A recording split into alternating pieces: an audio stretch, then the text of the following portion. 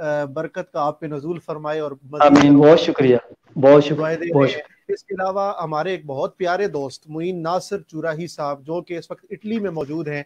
चूरश खूबसूरत और प्यारे खलीफा हैं और बड़े खादिम हैं शरीफ के। वो वहाँ से देख रहे हैं मैं उनको भी खुश आमदीद कहता हूँ। उनको भी सलामत और मैं मोइन नासिर साहब को एक मैसेज दूँगा कि आप जिस खानगाह से जिस पीरखाने से आपका ताल्लुक है, क्या कमाल है जी कि किबला फारूक इस्लाम साहब की अल्लाह ताला ने इल्म रूहानी से भी और इस दीनी दुनियावी उलूम से भी माला माल फरमाया और फिर मैंने बहुत कम देखा है। ये मैं मुबालगा राय की बात नहीं कर रहा, बहुत कम देखा है कि जो लोग इस रस्ते पर हैं, उनकी औलाद भी इधर चले।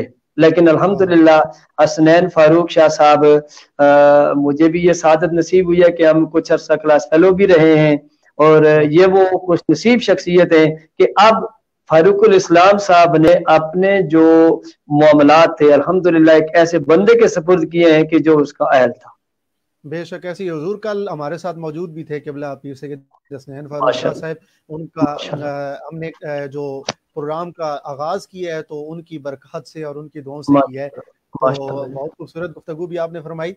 इसके अलावा अब्दुल रहमान साहब मौजूद है जी हमारे साथ और उसके अलावा राजा नजीर साहब देख रहे हैं वो कह रहे हैं जी माशाल्लाह मलिक मुदसर साहब हमारे साथ मौजूद हैं। इसके अलावा सैयद फसी साहब हमारे साथ मौजूद हैं जी।